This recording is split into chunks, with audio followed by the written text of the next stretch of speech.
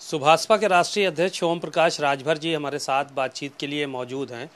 घोसी में जो चुनाव हो रहे हैं, उसमें सुभाषपा का प्रत्याशी मैदान में है। उनसे जानते हैं कि लोकसभा में क्या स्थिति होगी और घोसी का क्या माहौल होगा। बात करते हैं। सर, अरविंद राजभर आपके प्रत्याशी हैं, आपकी पार्टी से। घोसी में किस तरह का माहौल देख पा रहे हैं आप लोग?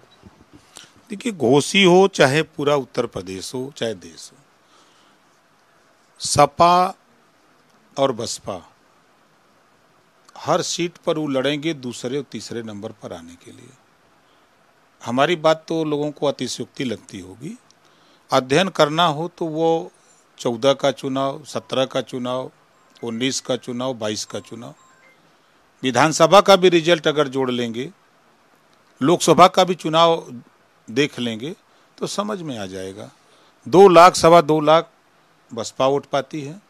अब वही दो लाख, सवा दो लाख, ढाई लाख तक दोनों रह जाते हैं, सपा और बसपा। और Bharatiya Janata party alliance NDA पिछले अगर चुनाव को उठा के देखेंगे तो सपा और बसपा मिल के लड़े तो दोनों का वोट जोड़ दीजिए तो पाँच लाख के ऊपर हो जाता है। उसी को बाजा बजा रहे हैं। सपा के लोग चाहे वहाँ लड़ रहे हों, चाहे बसपा के लोग लड़ रहे हो तो हम इतना पाए थे। अरे भाई, उतना पाए थे तो उसमें से माइनस कर दो, बसपा का वोट, सपा का वोट।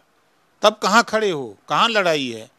अगर हम उन्नीस के ही रिज़ल्ट की बात करें या बाईस के ही रिज़ल्ट की बात करें, आप कहाँ खड़े हो? बिना वजह लोग जनता के बीच में गुमराह कर रहे हैं।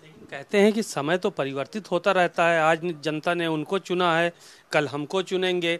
और एक बात और है जब घोसी की बात आती है तो घोसी उपचुनाव का ज़िक्र ज़रूर होता है जिसमें आपने कहा था कि जमानत जब्त होगी समाजवादी पार्टी के प्रत्याशी की। अच्छा ये बताइए बसपा ने चुनाव नहीं लड़ा? उनके वोट से पचास हज़ार बावन हज़ार वोट बसपा का पचास से बावन हज़ार वोट वहाँ है। पचास हज़ार माइनस कर दीजिए। कहाँ सपा खड़ी हो गई?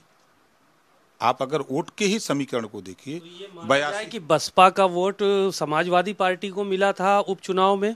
बिल्कुल मिला था। उस समय समाजवादी पार्टी समझाने में सफल रही साम दाम दंड भेद जो होता नहीं है तो समझाने में और दाम देने में सफल रही। तो इस नाते वो उसमें सफलता हासिल कर ली। इस बार आ जाए।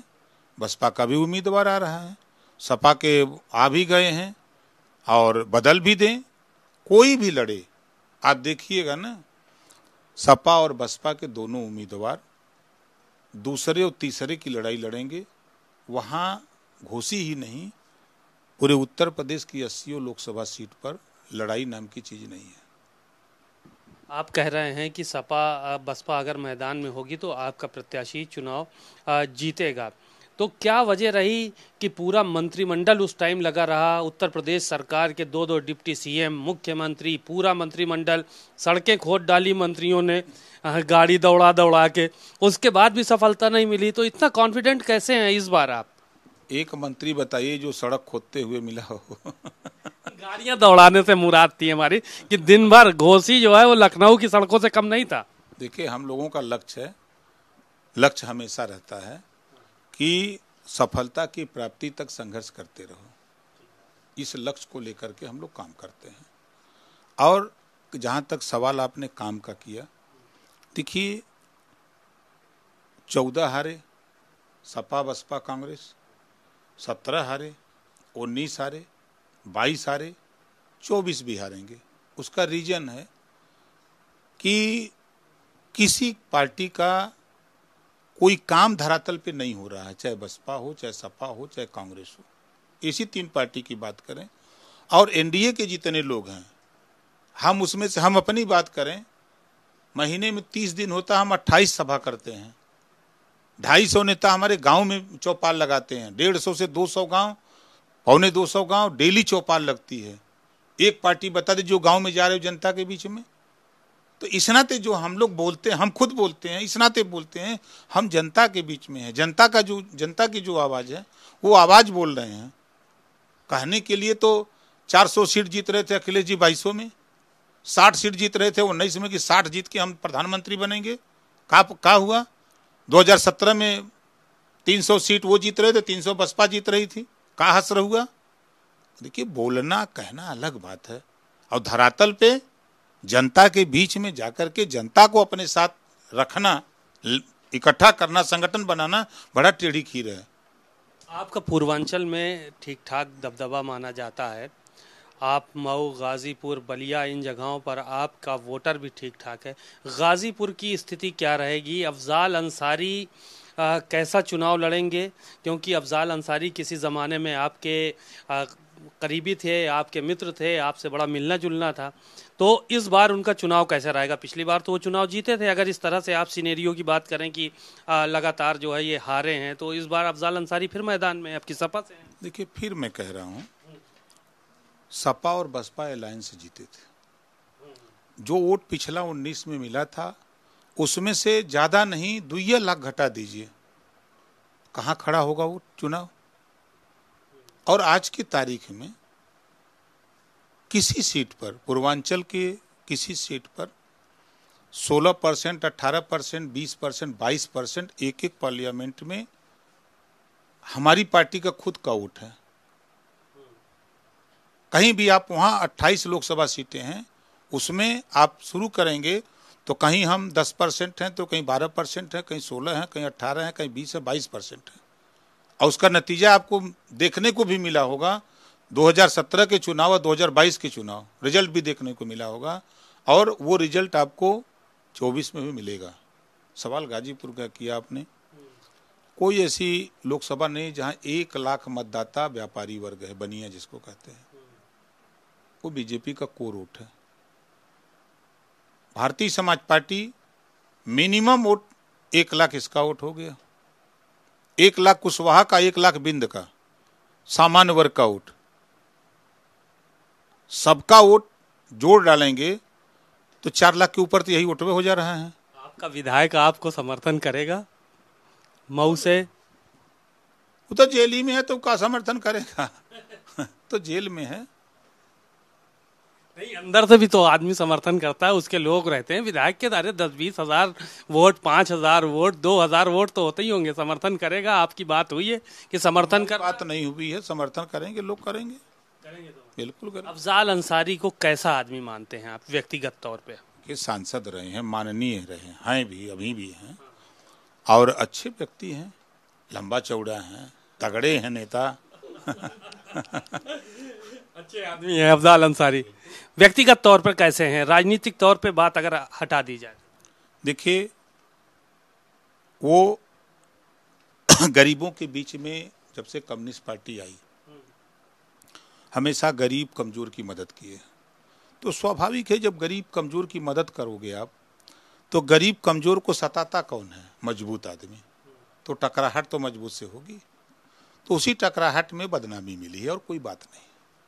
चलिए एक सवाल ये था कि अजय राय चुनाव लड़ रहे हैं बनारस से और कह रहे हैं कि अब की जीतेंगे तीसरी बार, मोदी जी हारेंगे। तो ये नहीं लग रहा कि बहुत बड़ा ख्वाब है अजय राय का? बहुत जागती आँखों से सपना देख रहे हैं। देखिए आन्ही के आगे बेना का बतास। हमारे पूर्वांचल में कहावत है क्या है? आन्ही के आगे। आगे। बेना का बतास। बेना का बतास। इसका क्या मतलब हुआ? एक तरफ़ से आंधी आ रही हो उस आंधी को रोकने के लिए हम बेना डोला के उस हवा दे के रोकना अच्छा वो बेना यानी हाथ वाला पंखा। हाँ हाथ बे, बेनुआ बेनुआ कहते हैं हमारे यहाँ। बेनुआ कहते हैं तो आंधी के सामने वो बेनुआ से उसको रोकने की कोशिश है, हैं? तो अजय राय का यही हाल जमानत जब्त होगी अब देखिएगा ना। अजय राय की जमानत जब्त हो जाएगी तो इतनी हुंकार कैसे भर रहे हैं? बच भाई देखिए जबान भगवान ने दिया है। तो बोले में वचनम किम दरिद्रम। वचनम किम दरिद्रम। बचनम किम दरिद्रम? मतलब? उर्दू ए संस्कृत शब्द है। जबान से क्यों गरीब बने? जबान से गरीब क्यों बने? वचनम किम दरिद्रम। हम जबान से क्यों गरीब बने? वचन हार्ड होने चाहिए। हाँ वो इसी नाते नेता है अपना नेता की भाषा बोलते हैं जीत रहे हैं।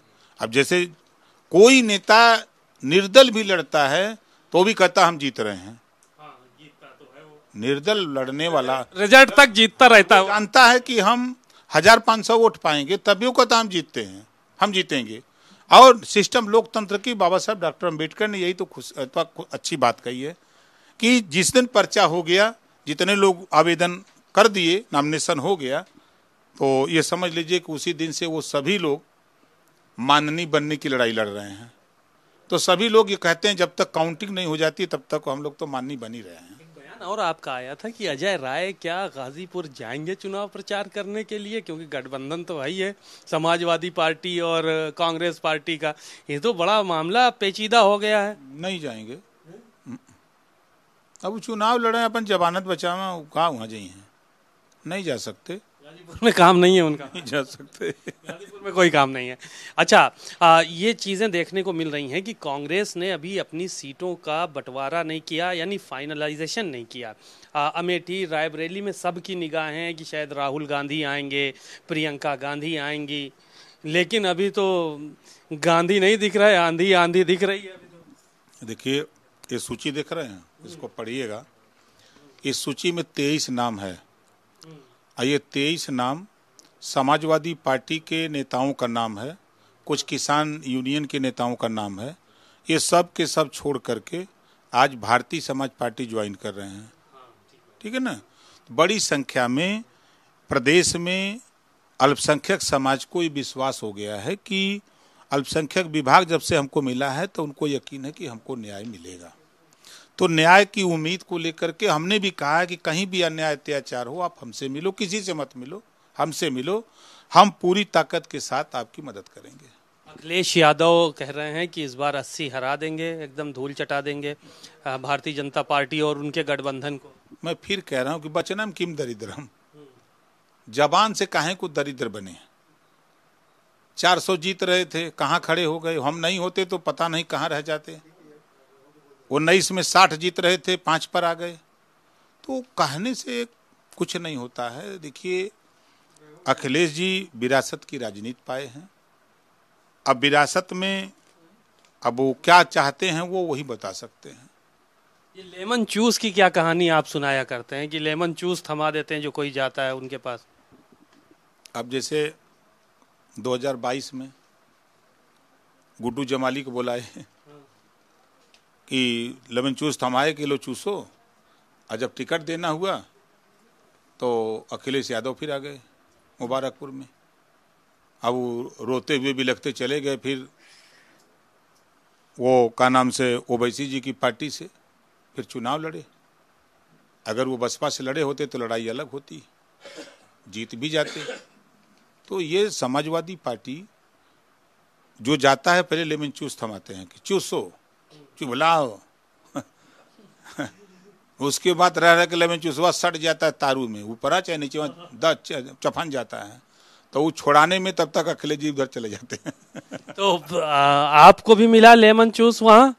अरे बड़ा तगड़ा दिए कि कई गो दिए। वो तो हमसे खुद कहे कि आप चले जाओ भाजपा में। हम भी भाजपा की मदद करेंगे। आप रहोगे तो हमारी मदद करोगे। ये ना कहे होंगे। आप अपने मन से बात कर रहे हैं। पॉलिटिकल स्टैंड है आपका। ये कहे थे आपसे कि आप अच्छा, ये ये बताइए कि उन्होंने तलाक नामा लिख के दिया है ना मुझे? हाँ, ये कहा कि आज से आपकी हमें ज़रूरत नहीं है आप स्वतंत्र हो। आप जहाँ जाना चाहे चले जाओ। नहीं ये थोड़े ना कहे होंगे कि भाजपा में चले जाओ वहाँ तो जाना क्या इशारा था? हम्म। आप बताइए कि अभी संजय चौहान को क्यों हटा दिया? पल्लवी पटेल से क्यों झगड़ा हो गया, छोड़ दिया? वहीं दारा चौहान जी से क्यों विवाद हो गया? फिर स्वामी प्रसाद मौर्य क्यों हटा दिया?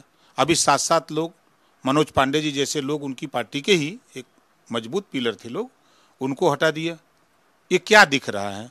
ये साफ़ साफ़ दिख रहा है कि भारतीय जनता पार्टी की हम भी मदद करना चाहते हैं। आप लोग निकलते रहो। हम कमज़ोर होते रहेंगे तभी भाजपा की मजबूती से मदद करेंगे। वो तो खुद चले गए ना? कह रहे हैं कह रहे हैं हमारा राज्यसभा चला गया इन लोगों के चक्कर में।